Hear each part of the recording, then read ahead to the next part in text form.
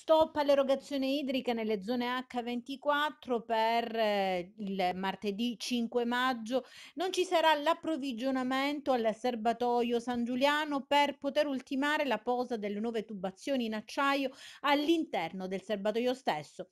I lavori inizieranno alle 8 del mattino e dureranno dalle 6 alle 8 ore, il tempo stimato. Al termine sarà immediatamente riattivata la fornitura del serbatoio, dunque martedì 5 maggio nessun approvvigionamento nelle zone servite H24 tranne l'ospedale, il carcere e la ferrovia.